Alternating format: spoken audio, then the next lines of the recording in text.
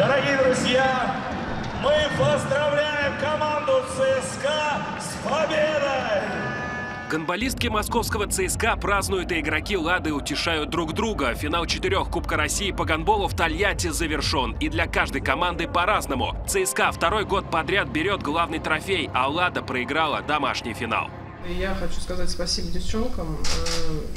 Они действительно сегодня бились, они отдавали все силы, боролись за каждый мяч, не жалея себя, шли в контакт, получая и по зубам и по, по лицу, по носу, куда попадали. Поэтому это очень действительно тяжело. Очень сегодня была, можно да, назвать бой. Он был самоотверженный, он был где-то на зубах. Путь к решающему матчу лежал через полуфиналы. В первой игре турнира встретились ЦСКА и Ростов-Дон. Серьезной борьбы в этой игре не получилось. Москвички уверенно победили 34-30. В другом полуфинале Лада встречалась со «Звездой». Весь матч тольяттинки контролировали ход игры. Итог уверенная победа 39-32.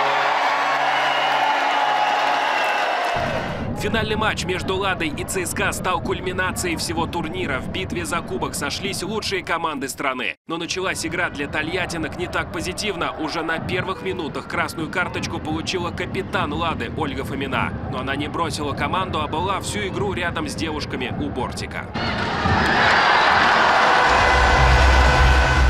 Первый тайм закончился со счетом 15-15. Цифры на табло полностью подтверждали тезис на площадке равные команды. По ходу второго тайма Лада вела с преимуществом в три мяча, но сохранить перевес в свою пользу не получилось. На стороне ЦСКА был более сильный состав, глубина скамейки и удача. Финальный счет матча 27-31 в пользу гостей.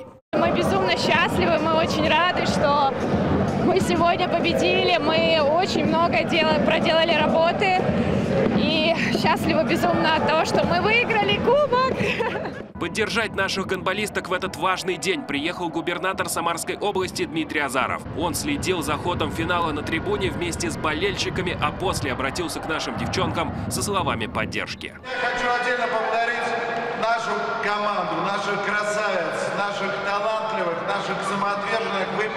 нам сегодня большой праздник.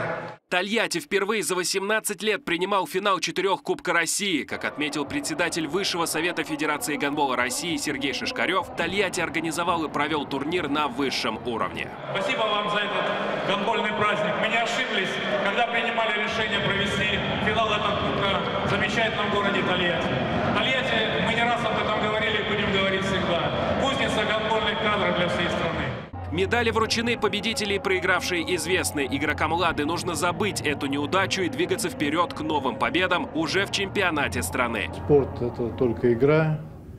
Победа – это важно, а, но они должны помнить, что жизнь на этом не заканчивается. Мы, конечно, желаем им только победы, только победы. Они молодцы, они будут делать все, чтобы выиграть.